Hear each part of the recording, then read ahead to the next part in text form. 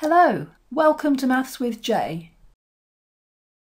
So we're going to solve the inequality 10 minus 2w is less than 7 and then we'll show the answer on the number line.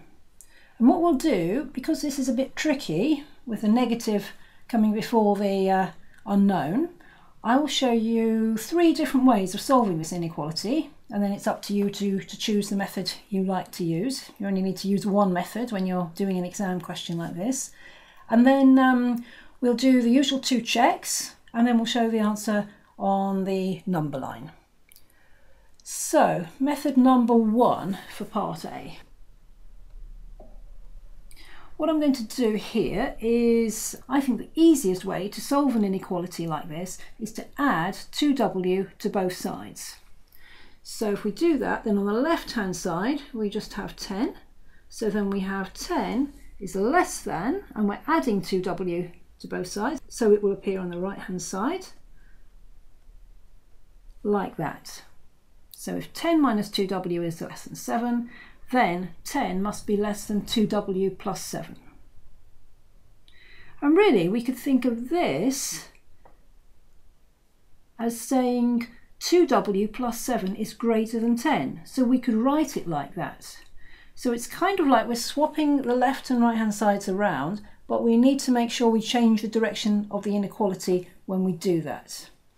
So we've got 2w plus 7 is greater than 10. And now that's a much easier problem to solve. So we can subtract 7 from both sides giving us 2w is greater than 10 minus 7, so that's 3. And then divide both sides by 2, so w is greater than 3 over 2, or 1.5. So that's one method of solving this inequality. Another way would be to start off by subtracting 10 from both sides. So let's see what happens if we do that. So subtracting 10 from the left-hand side, we'd get minus 2w is less than, and subtract 10 from the right hand side as well. So 7 minus 10 is negative 3. And then we would need to divide both sides by negative 2. Now this is where you need to be careful because when you multiply or divide an inequality by a negative, you need to change the direction of the inequality. Let's just have a look at why that is. If we look at an ordinary number situation. The number 5 is less than 8, isn't it? But if I think about negative 5 and negative 8, which number is bigger now? It's a negative 5, isn't it? So we've now got negative 5 is greater than negative 8. So that's just an example using ordinary numbers to show you why we need to change the direction of the inequality in the example that we're doing here. So when we divide by negative 2, w is greater than negative 3 divided by negative 2, so w is greater than 1.5.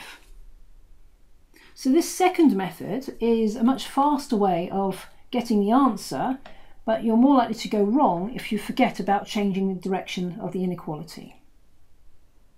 And a third method it's using the same kind of idea that we've just had to use because we're going to end up changing the direction of the inequality again and let's see how that will work. So the third method I would use would be to multiply the whole inequality through by negative 1 as our first stage. So what we're doing is changing the signs of everything. So instead of 10 minus 2w, I'm going to write 2w minus 10 and then I'm changing the direction so instead of less than I'm writing greater than and instead of 7 I'm writing negative 7 so we have multiplied through by negative 1 and then we would add 10 to both sides so 2w is greater than negative 7 plus 10 so that would be 3 and then w is greater than 1.5 so you can see three different methods of solving this inequality.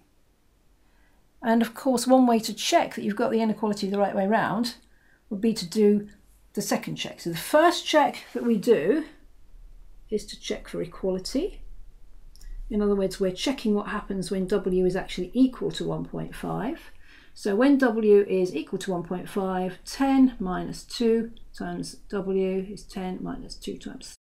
That's equal to 7, so that's what we want. And then, because we found that w has to be greater than 1.5, we're going to choose any number greater than 1.5. So I'm going to choose 2.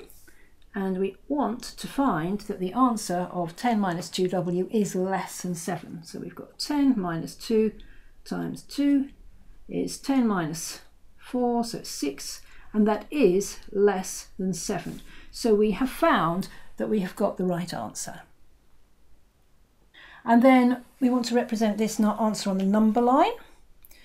So if w is greater than 1.5, we want to indicate 1.5 on the number line with an empty circle because w can't actually be equal to 1.5 and then showing that it's greater than 1.5 we want to do that. If you're using a pencil and you need to make sure that whoever is reading your work can see it you can ju just write just above the number line like that instead. The important part is to show that you've got an empty circle where we've got the 1.5 on the number line.